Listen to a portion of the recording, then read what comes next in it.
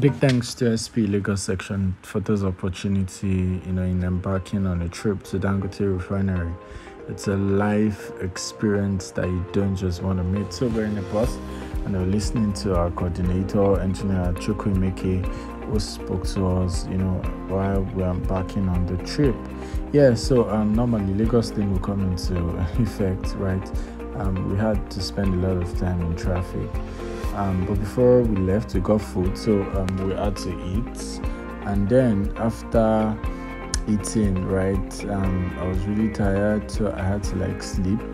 Yes, I, I slept in the bus. Um, I wasn't the only one who was sleeping, right? But the friend of mine who was beside me, she was not sleeping, but the other guy slept still. Um, yeah, yeah, he had to sleep.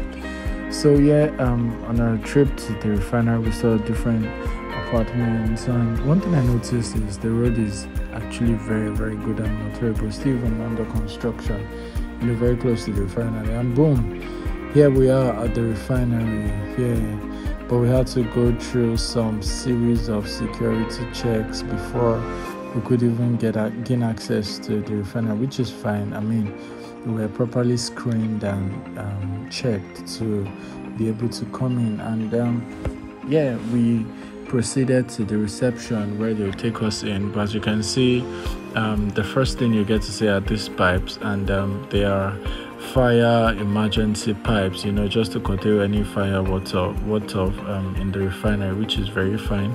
Um, so we got to the office, right, and um, the office setting was really, really beautiful and we're shown um, the history of the refinery, how it started, where um, you know it started, and you know the current state. So, um, yes, from there we moved into um, go for sightseeing. So we had to split ourselves to different groups so that it would be pretty much um, accessible for each and every one of us, right? And um, as you can see, here are storage tanks for fuel for gas and for diesel which is um really gigantic. Trust me like there's a lot of resources put into this place. There's a lot of um, um, time energy brain work engineering architecture you know being put into this place. And everything you get to like see on socials online it is real. Like dangote refinery is such an amazing one you know, from the storage tanks um, to the heavy machineries that you know are spotted here. They are just the best and you know the biggest in the world, ranging from alkylation um, to you know hydrogen cracking and some other processes being carried out here. It is really really overwhelming. And trust me you know um, here's where you're taking your crude and then it goes to your distillation chamber and you get you know after the processes you get your jet fuel you get your kerosene you get your gas and um, some other residues you know from the crude. So it is really really an amazing one. Um, trust me it's not even um, built to fit the local standard. It is really built um, to fit the international um, market standard. So it is really sophisticated with, um, you know, pretty much very brilliant engineers um, getting to have the hands-on experience, you know, and um, it's just really, really um, a, a gigantic um, refinery.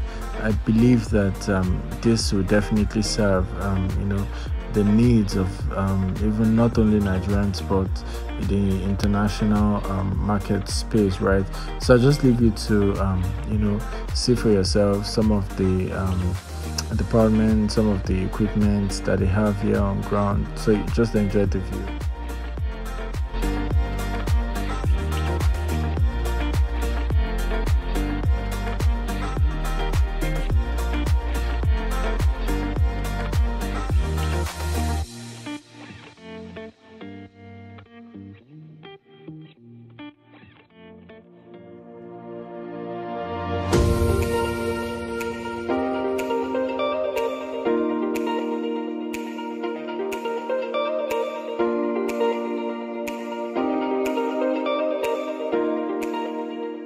So we had photo sessions um, after site visit and then we're back to like the conference room to give a vote of thanks and to say a big thank you to um, Dangote. And this was done by our coordinator.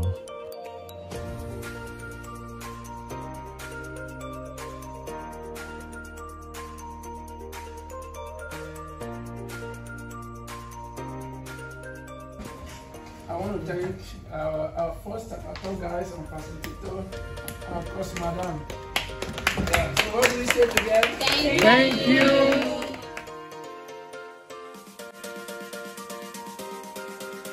They still served us food, you know, like the meal was really, really good. So thanks to Dangote once again and the whole entire Dangote refinery management.